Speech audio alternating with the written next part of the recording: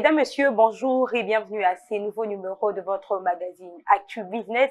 C'est magazine, comme vous le savez bien, qui est axé sur l'entrepreneuriat le management. En bref, le business dans sa globalité. Et pour ces nouveaux numéros, nous allons mettre le point en ce qui concerne le milieu entrepreneurial en République démocratique du Congo. Et pour parler de cela, je ne suis pas seule. Je reçois pour vous un juriste à la personne de Maître Epaphras Mukuna avec qui nous avons échangé. Maître Epaphras, bonjour et bienvenue. Bonjour Madame Chemima. Comment allez-vous? Oui, ça va, ça va bien, grâce à Dieu. D'accord. C'est une première pour vous de passer en revue sur euh, les antennes de Congo Buzz Télévision. Quelles sont vos impressions par rapport à ces modèles? Exactement, c'est une première fois, mais mes impressions sont les bonnes. J'ai aimé le plateau. Okay. J'ai vu l'accueil, vraiment un accueil très chaleureux avec tout le groupe. Ils sont très gentils, les caméramans et consorts. En tout cas, je suis flatté. D'accord. Sinon, entrons dans les vifs du sujet. Comme je l'ai dit tantôt, nous allons mettre le point sur euh, le milieu entrepreneurial en République démocratique du Congo. D'abord, pour commencer, sous quel œil voyez-vous le milieu entrepreneurial dans notre pays? Bon, madame, vous savez, moi, je suis quelqu'un de très optimiste. D'accord. Et quand vous me posez cette question, je pourrais dire que dans le jour à venir, les choses peuvent marcher. Parce que nous, nous Jusqu'à là, ça ne va pas. Parce que jusque-là, ça ne va pas. Ça ne va pas parce qu'il y a d'énormes difficultés. Okay. Des difficultés vraiment qui ont élu domicile dans les milieux entrepreneuriaux. Hein, des difficultés d'ordre technique, mais aussi des difficultés d'ordre organisationnel. Parce que aujourd'hui, si vous essayez de remarquer ensemble avec moi, au niveau étatique, l'État euh, congolais ne favorise pas l'entrepreneuriat dans tout le domaine. Dans tout le domaine, il ne sécurise pas le, les petits entrepreneurs contre euh, toute éventuelle concurrence déloyale. Aujourd'hui, vous pouvez voir le même article euh, vendu qui font le même article de service d'un Congolais, c'est le même. Ça sera aussi le même article qu'un expatrié aussi vend ou euh, utilise. Pire que ça en détail. Pire que ça en détail, comme vous le dites là. Donc, on remarque au niveau de l'État que ces derniers ne sécurisent pas les entrepreneurs congolais. Et aussi, l'État n'encadre pas hein, les petits entrepreneurs pour leur faciliter un accès au crédit, n'est-ce pas, à un coût favorable pour leur permettre d'émerger. Parce qu'on ne peut pas entreprendre si on n'a pas l'argent, si on ne parle pas d'argent, si on ne parle pas de moyens financiers. Et cette politique de faciliter l'accès à la population congolaise au crédit, cette politique n'est pas garantie dans notre pays. Donc, quand vous me posez cette euh, euh, question de l'œil euh, par lequel je vois les milieux entrepreneuriales en RDC, je pourrais épingler ces différents points. Mais il faudrait aussi voir, même pour des Congolais qui essaient un peu d'entreprendre quelque chose, mais ils sont tout le temps dérangés, c'est presque tout le jour, hein, par des agents administratifs, par la police. De l'État. Mais exactement, là, on comprend que l'État ne prend pas soin d'encadrer ou mieux de former ces, ces agents administratifs pour bien faire le travail faire le travail dans une manière qui puisse faciliter ou permettre les entrepreneurs de bien œuvrer. Déjà, en parlant d'entrepreneuriat, aujourd'hui, il y a, comment je pourrais dire, il y a une confusion qui, qui s'observe depuis un moment entre l'entrepreneuriat et le business. C'est quoi la différence entre les deux? Madame Jemima, il y a une grande démarcation entre l'entrepreneuriat et le business. Laquelle? Euh, Je pourrais dire ceci. Vous savez, un entrepreneur, c'est quelqu'un d'abord qui entreprend à partir d'un concept inventé. Donc, c'est-à-dire, il n'y avait rien. Lui, il vient avec, il sort une idée. Il dit, je vais faire ça. Je commencerai par, euh, euh, par, euh, par telle méthode, pour arriver à, à, à produire, pour arriver à répondre à un certain besoin de la population, pour arriver à créer le moyen. Voyez-vous? Alors que le businessman, qui peut être appelé aussi un homme d'affaires, lui s'élance dans un domaine déjà connu. Voyez-vous Ça, c'est la première différence. L'entrepreneur crée à partir de rien, alors que le businessman, l'un homme d'affaires, lui investit sur un domaine connu. Une sorte d'achat et de revend. Genre, Et- il achète et il revend. Exactement. Mais, mais non seulement ça, il y a aussi, euh, c'est que, parce que l'entrepreneur crée, il est en fait le leader du marché. Ça vient de lui, ça sort de son initiative, de son idée. Alors que euh, le businessman, un homme d'affaires, lui, c'est un suiveur. Il peut entendre que un, un domaine quelconque paye ces derniers temps, il vient avec son argent, il investit parce qu'il sait qu'il trouvera intérêt. Donc, lui n'a pas besoin d'inventer. Lui, euh, euh, il saute sur des occasions, Des opportunités qui sur des opportunités, exactement, des domaines connus.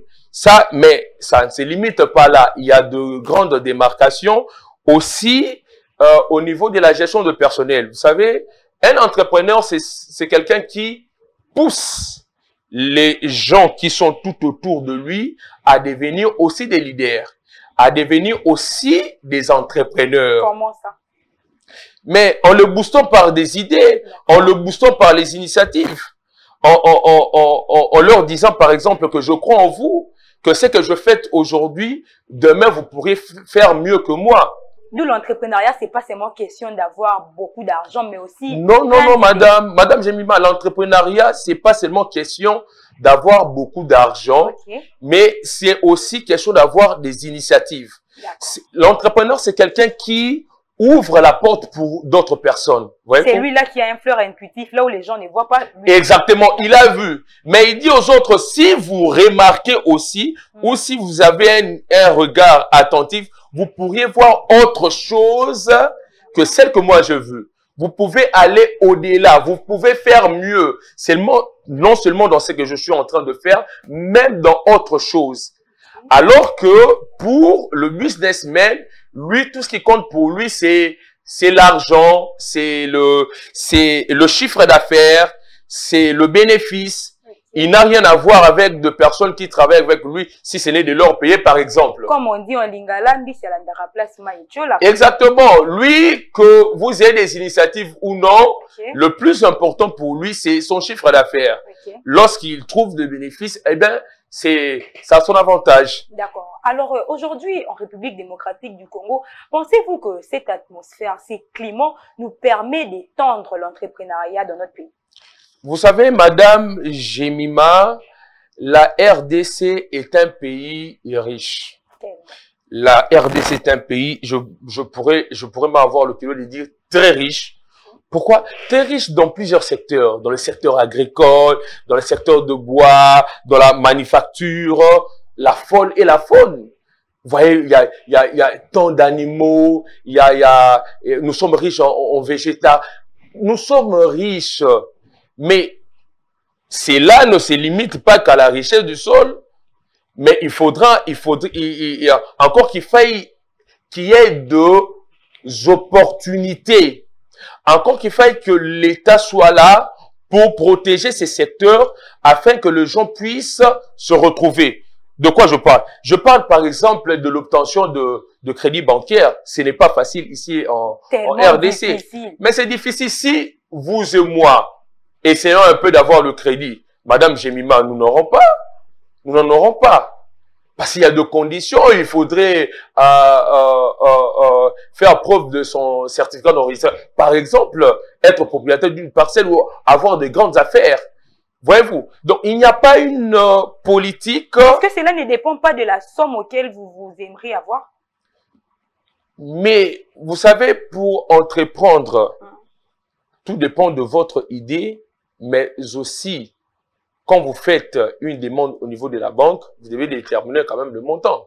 Je ne crois pas que vous irez à la banque pour euh, avoir 50 dollars. Non, j'ai dit pour que l'on puisse vous donner une, euh, une garantie, par exemple, d'un livret parcellaire. Ça dépendra des- de, de la somme, par exemple. Mais justement, ça dépendra de la somme. Ça dépendra de la somme, mais ce qui importe au niveau de la banque, c'est que la banque voudrait se rassurer que la personne euh, qui est devant moi est une personne crédible, solvable. Voyez-vous Et si l'État peut, au-delà des banques qui existent, créer d'autres banques, créer d'autres opportunités, au fin de faciliter à la population congolaise, parce que vous savez, je voudrais dire une chose, quand nous parlons de l'entrepreneuriat, nous nous adressons à quelle euh, tranche ou à quelle couleur de la population congolaise? C'est cette population qui vit dans la pauvreté.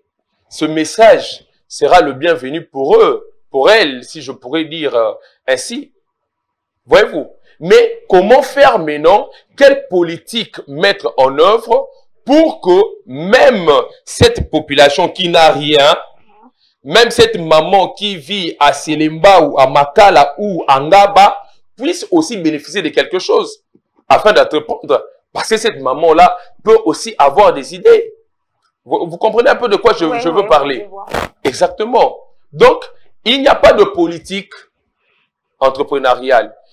Il n'y a pas de protection. Il n'y a pas d'accès facile, comme je le disais tout à l'heure, au, crédit bancaire. Il n'y a pas assez de banques. Il n'y a pas de, euh, de stabilité de taux d'échange, par exemple.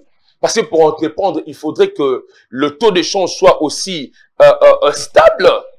La, la, la, monnaie congolaise perd sa valeur au jour le jour. La, dégradation est énorme. Et tout le jour, Madame Jemima. Et, et tous ces faits-là ne permettent pas à la population congolaise d'entreprendre. Ça ne facilite pas l'entrepreneuriat euh, euh, en RDC. Outre tous ces fléaux, ne pensez-vous pas que notre système éducatif est à la base de cela? Mais justement, je, Parce je que dirais je que... Un exemple, on nous dit, à la, tout, presque tous les parents, on te dit, étudie, va à l'école et à la fin, tu auras un emploi. Et c'est comme ça que tous les jeunes diplômés, je dirais, après leur cursus universitaire, ils se mettent là à rédiger de lettres de demande d'emploi. Est-ce que notre système éducatif ne serait pas à la base? Je dirais que les responsabilités, Madame Jemima, sont partagées. Euh, vous savez, sous d'autres cieux, je prendrai même euh, l'exemple de la Chine. On parle de l'entrepreneuriat, même au niveau de la famille. Je dis, les, les responsabilités sont à partager d'une part, le, le, cercle, le noyau familial, au niveau de la famille, les parents ne prennent pas le temps de parler, vous venez tantôt de le dire ici, aller à l'école. Pourquoi? Parce que pour devenir enfin des, des gens qui écrivent, qui, formulent, qui rédigent au jour le jour sous des arbres des lettres de demande d'emploi. J'ai l'honneur. J'ai l'honneur, j'ai et ils connaissent toutes ces expressions-là, mais malgré cela, ils ne sont pas toujours engagés parce qu'il n'y a pas d'emploi il n'y a pas d'emploi. Mais d'autre part, vous avez raison de dire, c'est aussi dû au système éducatif parce que euh, notre système éducatif n'encourage pas. On ne nous parle pas de l'entrepreneuriat. Moi, j'aurais même souhaité que euh, cette notion soit obligatoire pour euh, tout le domaine euh, de notre système éducatif qu'on nous parle, qu'on parle aux enfants, qu'on parle aux jeunes des avantages de l'entrepreneuriat. Non seulement dans nos maisons, mais jusque-là, aucune université où il y a concrètement une faculté de sur l'entrepreneuriat. Aucune. Et comment pensez-vous que tous ces jeunes pourraient avoir l'intuition ou même un œil pour euh, entreprendre Mais c'est ce que je suis en train de dire. Vous remarquerez ici, si vous posez même la question euh, aux jeunes, vous les interrogez, que mm. pensez-vous entreprendre? Je vais entreprendre quoi? Pourquoi? Parce que je vous ai dit tout à l'heure que l'entrepreneuriat, c'est d'abord et avant tout une question d'initiative, une question d'idée. Quelqu'un qui arrive à un lieu, à un milieu donné, s'est dit, en tout cas, j'en ai marre de la routine, je voudrais que les choses changent. Et pour cela, je propose ceci, je pourrais faire cela. J'ai vu tout à l'heure ici, je suis venu l'autre fois, il y a il y a quelqu'un qui a entrepris quelque chose comme ça de Kintoko. Je sais pas si vous êtes. Kintoko sur les bouteilles en plastique. Sur les bouteilles en plastique. C'est, j'ai aimé l'initiative. Voyez-vous? Donc, c'est, c'est quelque chose de nouveau. C'est, c'est, c'est, ça sort de l'ordinaire. Il vient comme ça, il dit, ah, vous vous inquiétez pour de, de la saleté, de poubelles et comme ça. Moi, j'innove allez ramasser toutes ces bouteilles en plastique, venez avec ça. Dans ma commune, j'ai vu de petits garçons en train de ramasser ce... Une, une, une question même qui, qui, qui, met un, qui, qui ajoute un coup de pouce au gouverneur de la ville. Mais exactement. Mais c'est un ouf de soulagement pour le, même pour le gouverneur. Hein? Le gouverneur s'est dit, voilà quelqu'un à qui je peux faire confiance. Ce sont ces gens de, c'est les gens des personnes que nous voulons dans notre pays pour l'avancement du pays. Et non faire ce que tout le monde fait, nous ne pouvons pas euh, euh, acclamer ceux qui, ceux qui euh, sont des hommes d'affaires, qui viennent que pour leurs intérêts propres, qui n'innovent pas. Je parlais tout à l'heure de Kintoko, sans faire leur publicité.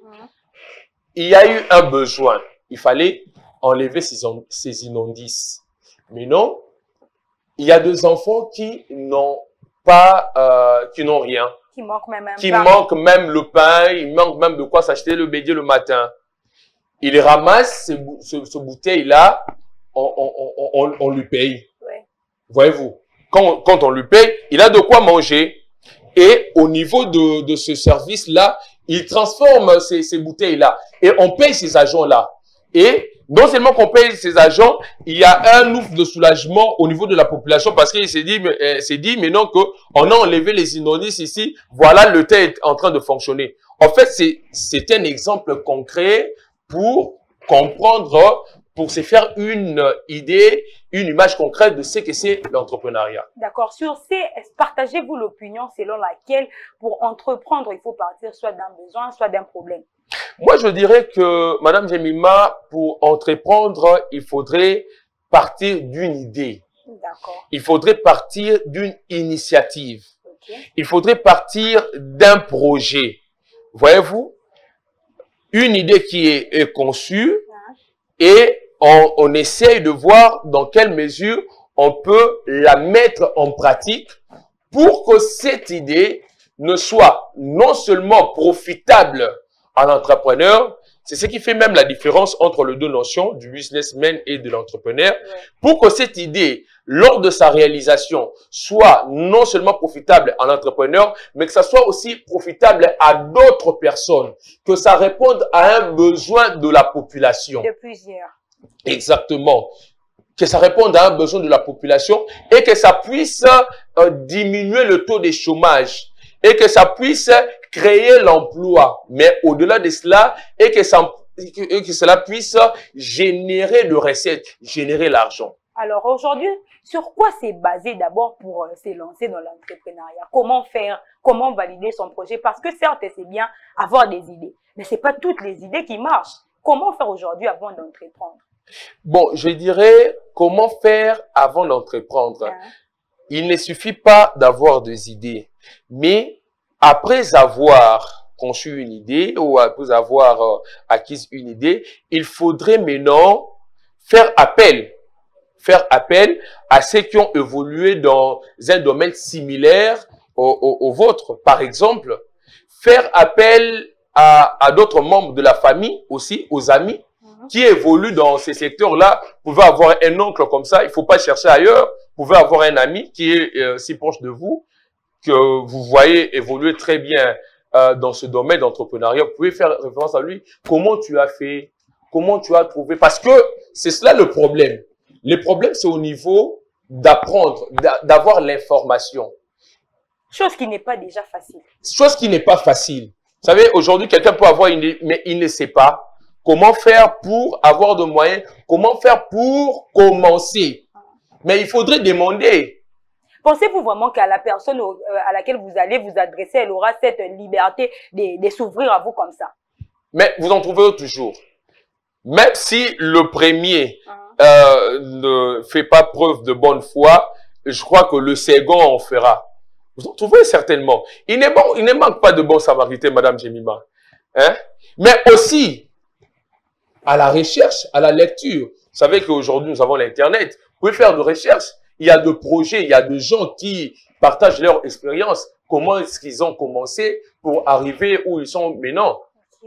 Il y a des expériences, il y a des modalités. Pensez-vous qu'il y a un critérium pour euh, être un entrepreneur assidu Bon, vous savez, euh, je voudrais que mon intervention dans votre émission soit non seulement pédagogique, mais pragmatique. D'accord. Dans quel sens? La RDC, après son indépendance, la RDC était la seconde puissance économique africaine après euh, l'Afrique du Sud. Mais aujourd'hui, la RDC est comptée parmi les pays les plus pauvres. Nous sommes parmi les pays les plus pauvres Nous brillons dans la pauvreté. dans la pauvreté, je dirais même deux tiers de la population vivent dans la pauvreté. Ce qui est grave. Donc moi je dirais à ce jour, il, il faudrait que nous puissions bannir un peu ce, ces critériums-là. Je sais que théoriquement parlant, il peut y avoir des critériums, mais je ne voudrais pas euh, euh, donner une connaissance livresque. Moi, je suis pragmatique. J'estime qu'à ce jour, que ce soit le parent, que ce soit les enseignants, nous devons nous regrouper ensemble. Nous devons euh, euh, euh promulguer, nous devons en parler pour dire que à ce jour, dans notre pays, l'entrepreneuriat doit être un mode de vie. Je, je suis même persuadé que tout le monde doit entreprendre. En parlant d'ailleurs des modes de vie, c'est une question qui m'a échappé. Si on doit classer l'entrepreneuriat, est-ce qu'on doit considérer ça comme étant une filière comme euh, le marketing par exemple, ou étant un mode de vie comme vous venez Mais si c'est considéré comme une filière, là on, aura encore de raisons pour accuser les enseignants.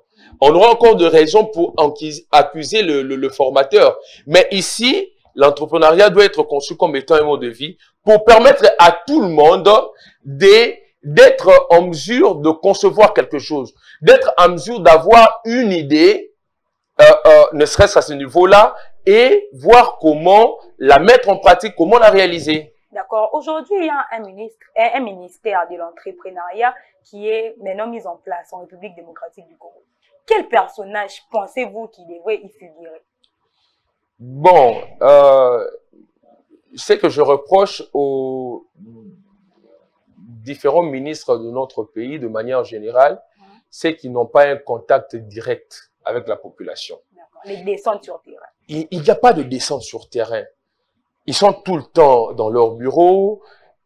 Bon, je, on a senti même dans les chefs d'autres ministres un certain manque de, de, de, précision dans, dans des questions essentielles relatives à leur ministère. Hein, voyez-vous Donc cela prouve qu'il n'y a pas de contact direct entre le ministre, qui est le patron du ministère, avec la population pour connaître réellement le besoin euh, euh, euh, euh de cette dernière pour y répondre. Il faudrait qu'il y ait des descentes. Il faudrait qu'on trouve des ministres en, en, en short et en jeans qui font des descentes, qui demandent à la population, qui en fait, qui s'acquièrent de la situation. Des ministres qui ont eux-mêmes commencé par ces petits chemins-là pour en arriver à...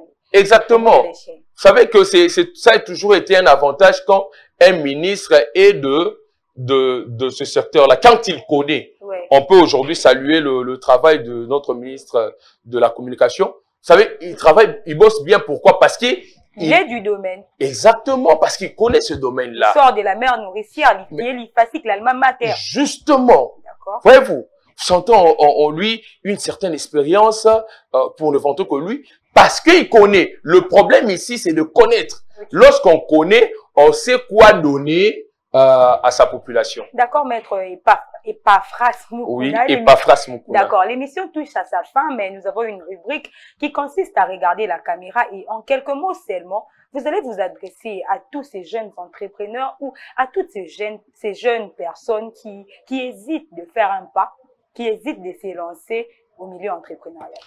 Bon, euh, ici, je, je voudrais euh, donner un message Ok, à tous ces jeunes.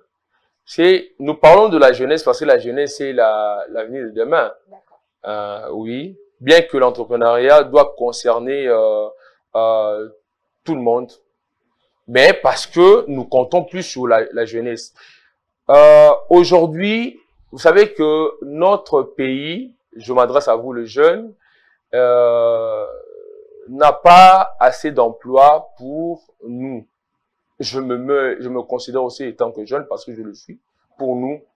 Et donc, je vous encourage tous, vous qui commencez par faire quelque chose, vous qui avez dans vos mains euh, euh, un petit rien, ça peut sembler ne rien être, mais à partir de ce petit-là, de ce petit rien-là, vous, vous ferez de grandes choses. Vous allez étonner le monde. Vous allez étonner même vos proches. Il suffit d'être courageux. Il suffit de croire en vos rêves. Il suffit de croire en vos visions. Et je crois que euh, euh, parce que vous avez commencé, la question de l'entrepreneuriat, il ne suffit pas de se dire que je suis entrepreneur, mais encore qu'il faille de commencer quelque chose parce que l'entrepreneuriat est une question d'action. Commencez quelque chose. N'attendez pas, j'attends l'argent de ma tante, de mon oncle. Commencez avec ce que vous avez entre vos mains et euh, le succès vous accompagnera. Merci Maître Moukoune d'avoir répondu présent à notre invitation. C'est à moi de vous remercier. C'en est fini pour ces nouveaux numéros, mesdames, messieurs. Merci à vous tous pour votre réelle et sympathique attention. Merci également à toute l'équipe technique pour la réalisation de cette émission. Restez-nous fidèles d'ici là, portez-vous bien.